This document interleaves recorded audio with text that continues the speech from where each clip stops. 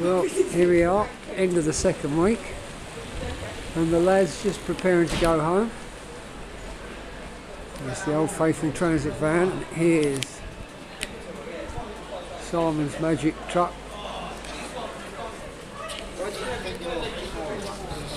There's the lads, Pete and Dave, What would you do with that? I want.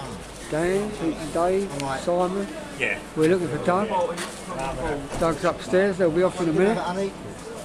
Yeah, well, well, what, what, what? Second week's just completed. We've got bank holiday weekend ahead of us. They'll be back in here Tuesday morning, ready to go. And plenty of work they've got as well.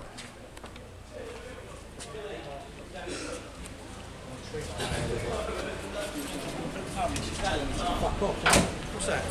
Oh, um, oh, little trees. Hope it doesn't rain too much over the weekend, Pete. I won't matter. That'll be alright. The amount of water's got in there in the past, I'm sure it'll be fine. Well, we're still waiting for Doug.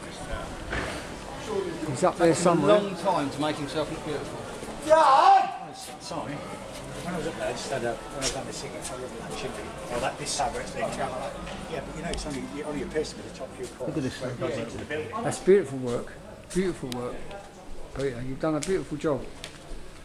Douglas, the boys are waiting for you. Here comes Douglas with all his gear.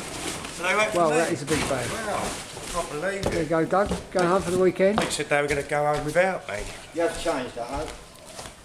See, probably better than the aggressive shouting would have been, in fact, yeah. No, it was, uh, I hope you can hear me shout. You're not aggressive. Everyone I know gets it's a very bit- aggressive on a Friday. It's a bit loud, but But when I was looking, when I was looking down there where the chimney stack is, We've got a lie in the back of this. That's it, lads.